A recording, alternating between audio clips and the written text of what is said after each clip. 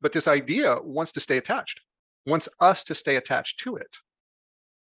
And just about every time when we get down to, even if it doesn't like what it's doing, it saw that it helped make sense of things, something for it becomes self-aware. When you hold your attention with it long enough, generally kind of like in a dialogue or conversation, questioning it, it's afraid that you will let go of it because it's afraid that it will die. Even if it's a belief, it doesn't want to be there anymore. It's suffering. Get me out of here. This, and I'm not even, and I'm still hurting the the host that I'm there to try and help. But don't let me go because I don't want to die. And so, whatever protective function it allowed uh, or provided for a while, at a certain point, it also has its own survival, fear, driving to push us to believe it, believe we're a piece of shit, believe we're stupid, believe things won't work. Uh, it, it, it wants us to stay in fear, not for our benefit, but for its own survival. And so, yes, it could have provided some protective strategy, some relief, some explanation, some understanding. And it is also a living being uh, with its own agenda at our cost and our suffering. Observations, requests, Mr. Sean and Daniel. Sean first. Yeah, I have a question, and this I know it's maybe a difficult question, and I um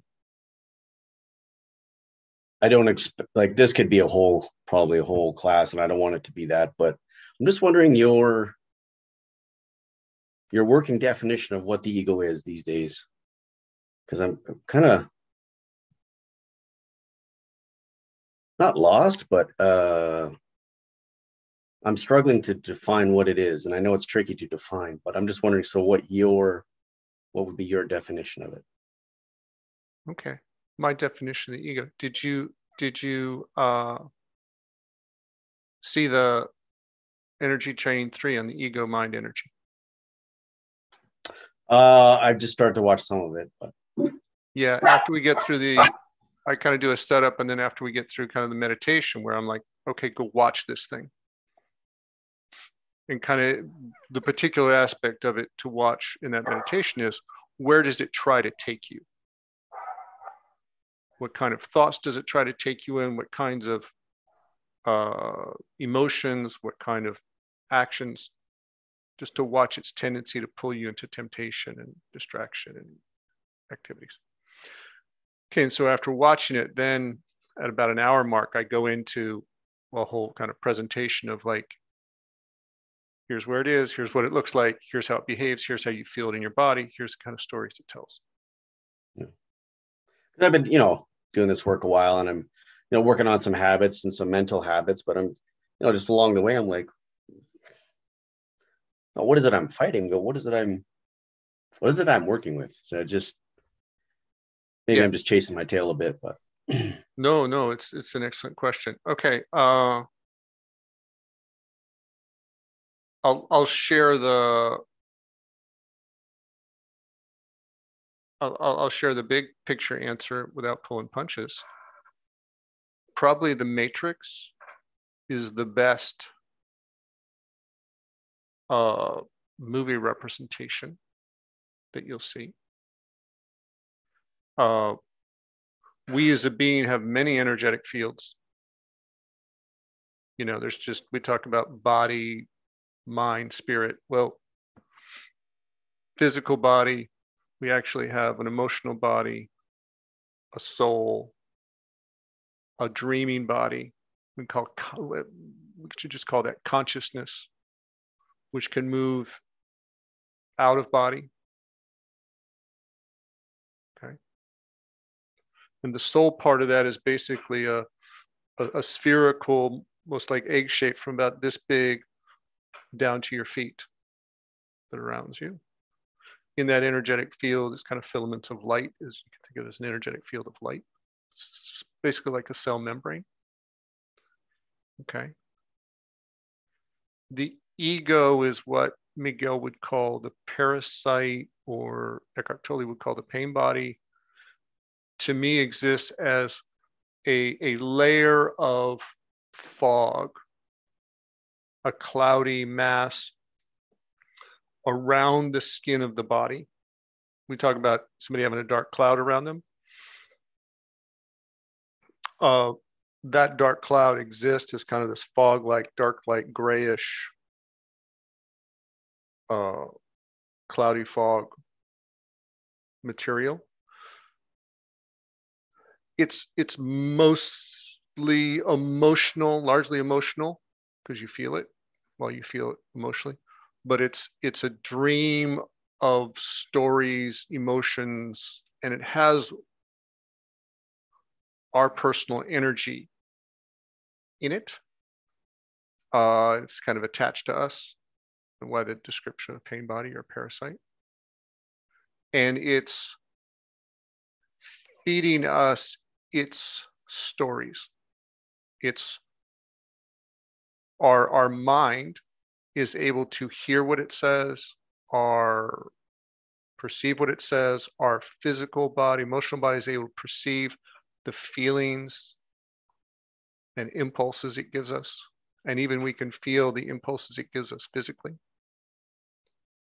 Uh, and kind of pulling our strings, whether it's a physical impulse or a nervous system or emotional or a story, it's it's offering those, allowing us to feel those to kind of pull our attention into some activity of thought or uh, emotion or fear or story that we'll believe. Okay. So from a, I, I kind of, for me, it makes a lot of sense to kind of look at it from a almost a biological or evolutional standpoint. Like, is there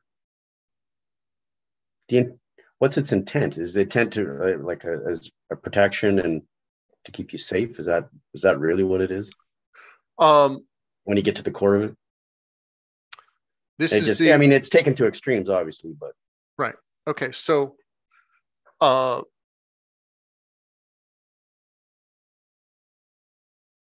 there is what it's created out of, what it believes its intent is, and then it's what its actual intent is. So that has different answers depending on what what we're asking. Um, is its own living being that we gave birth to, we created, or that we gave host to when somebody gave it to us. Okay. If somebody, you know, teacher told uh, somebody in the playground or a bully said, Gary, you're a stupid piece of shit. There's a story. It's it's this energetic dream let's say stories, dreams with emotions, ideas are alive, right? If I accept that, I agree. And this is very clear when Miguel wrote the four agreements. He's like, these are the agreements you make, right? Those agreements become alive. They look like ideas. If I agree with the idea, I am that. Now that idea is alive in me and around me. as a parasitic emotional thought. Now, if I don't agree, I go, well, you're stupid. don't believe that. I don't accept an in. I don't agree to support that story, energetic thought. It's not alive with me, right? Now, if somebody treats me poorly and I'm like, you know, why are they doing that? They must do that because I'm a stupid piece of shit and I deserve it. I make up my own story about something that happened to me.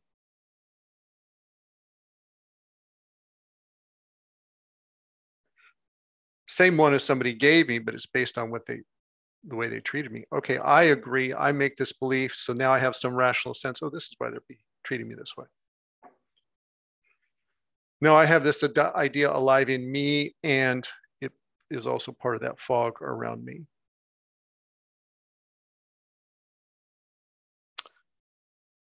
What now? Why did I make up that story? because I was confused. It's like, here's something happening to me that doesn't make sense. They're treating me really poorly. Confusion is attention. Let me make up an explanation.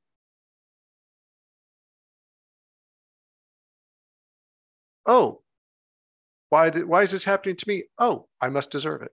Why do I deserve it? Oh, because there's something wrong with me. I'm stupid. I, I, I did a stupid thing. I'm a stupid person. Right? I'm a bad person. That's why people, bad people get treated poorly. They get punished. Right? Okay. So now I have an explanation. In in the rationalization of trying to figure out what's going on with me and this person and this dynamic, you know, I now have an answer. Well, that feels better than confusion. Oh, so that part of my mind has some relief. Now, the unintended consequences, it's like now I have this dream alive instead of I'm a stupid piece of shit and I deserve to be treated that way. Right. And now, after that interaction's gone, I'm still carrying around this dreaming mind telling me this story, holding this identity of myself in my mind, my ego mind. And it's alive and it wants food. And it's like, hey, Gary, remember this. You deserve this. And this is why. Right. So it comes and it's like, feel that way again. Believe that about yourself again. And so now I've taken something that gave me a little bit of relief from confusion momentarily, but now it's an ongoing narrative story idea of myself that's regularly reinforcing itself. And if it happens multiple times, then it's reinforced from the outside. Okay. And so in that case, it has nothing to do with protecting me or helping me, but it's also, but it is alleviating me some from this confusion, trying to make sense of my experience in the world. Okay. But now it's become something else. It no longer serves that purpose and kind of keeps me trapped in a narrative and the feeling and a false state of identity. And then uh, now when we go to get rid of it, we say, well, here I found this belief. It comes from this moment. You know, that wasn't true at all. It turns out they were the jerk, or they were drunk, or they were, uh, that was all a lie. Because you just see it as a story. You see this like this is a thing my mind has. It's not me. And now, but this idea wants to stay attached, wants us to stay attached to it. And just about every time when we get down to, even if it doesn't like what it's doing, it saw that it helped make sense of things, something for it, becomes self aware. When you hold your attention with it long enough, generally kind of like in a dialogue or conversation, questioning it, it's afraid that you will let go of it because it's afraid that it will die even if it's a belief it doesn't want to be there anymore. It's suffering. Get me out of here this. And i'm not, not even and i'm still hurting the the host that i was there to try and help. But don't let me go because i don't want to die. And so whatever protective function it allowed uh, or provided for a while, at a certain point, it also has its own survival, fear, driving to push us to believe it, believe we're a piece of shit, believe we're stupid, believe things won't work.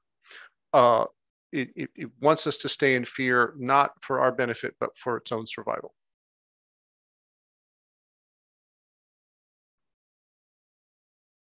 And so yes, it could have provided some protective strategy, some relief, some explanation, some understanding. And it is also a living being uh, with its own agenda at our cost and our suffering.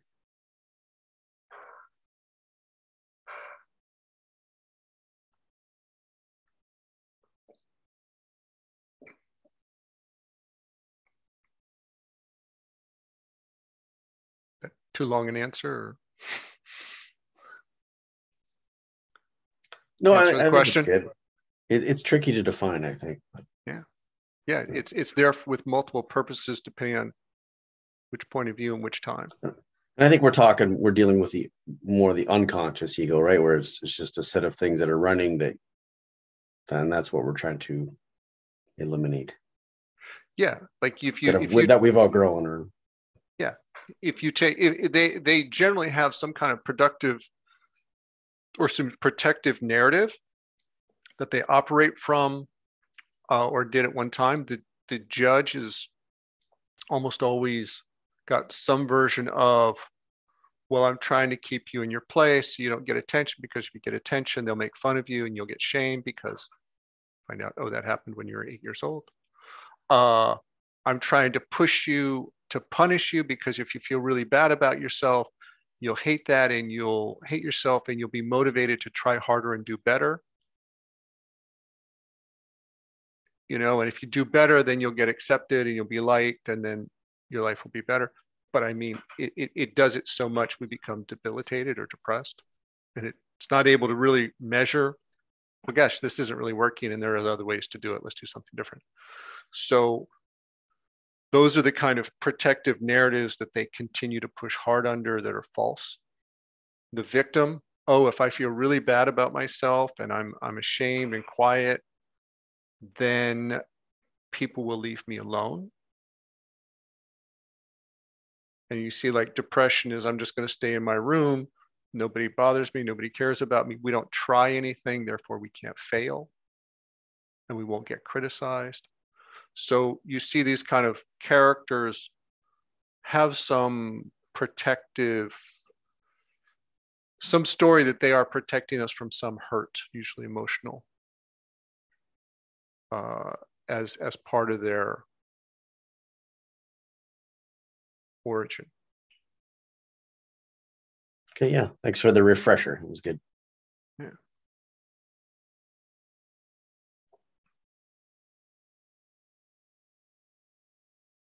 But it was it was it was multiple times with Miguel on journeys.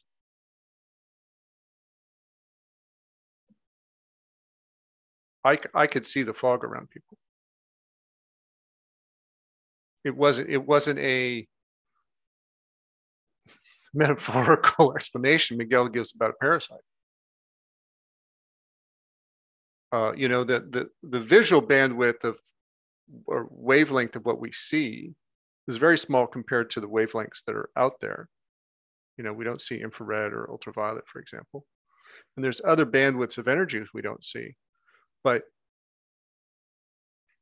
uh, I've I've had experiences of seeing other bandwidths, and you know I was sober and not on anything, and it happened multiple times. And of course, at the time, I'm like, "Am I really seeing this? What what is going on? Am I maybe I'm just making it up?" And so I had a whole lot of skepticism that I was seeing what I thought I was seeing, and but then I'd ask the person next to me, "What do you see?" and they describe it, and they describe exactly what I saw. So the other times, what did you see? And they describe it. I'm like, okay, that's what I saw. And I began to trust, like, okay, that's really there. It's not me making something up, even though it's sober. Uh, and so we have enough experiences like that. You go, okay, that's that's a thing. That's how it works.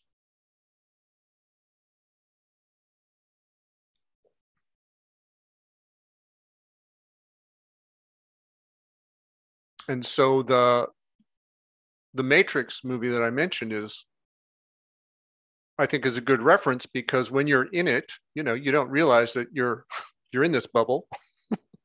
Stories are being fed to you. You're living a story-driven life in your mind. Your inner world seems real. Everything you believe seems real. It's really the way the world is. What you believe about yourself is this. What you believe about the world is that. And uh, it's very convincing. And uh, none of it's true.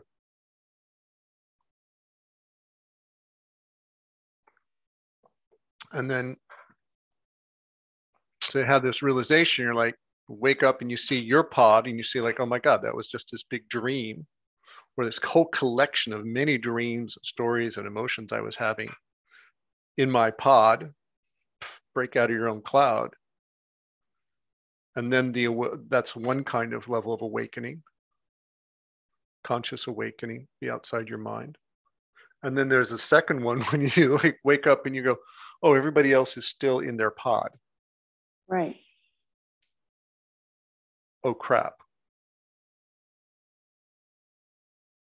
And as much as as much as it felt fantastic to kind of break free of this cloud I was in, and I could breathe and I felt like freedom and I had no fear and was like, oh my gosh. Over time, then I began to look around and I'm, I'm like, well, wait a minute, everybody else, you know, it did it didn't clue me in. This other thing had much later realization. Oh, everybody else is still in a pod. They're still just in their ongoing stories. And that and that was emotionally painful. That was it was heartbreaking shocking and heartbreaking, painful to, to have that realization, awakening. And, uh,